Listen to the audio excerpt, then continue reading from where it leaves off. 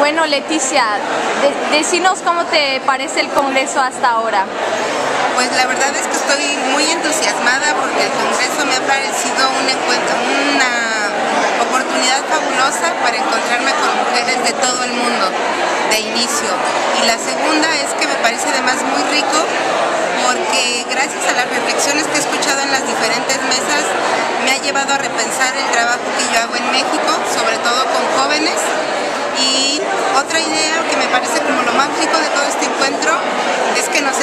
que no estamos solas y que cuando hay momentos de flaqueza o de tristeza podemos ver que hay muchas otras mujeres trabajando igual que nosotros y eso te sube ¿no? y te llena el corazón también.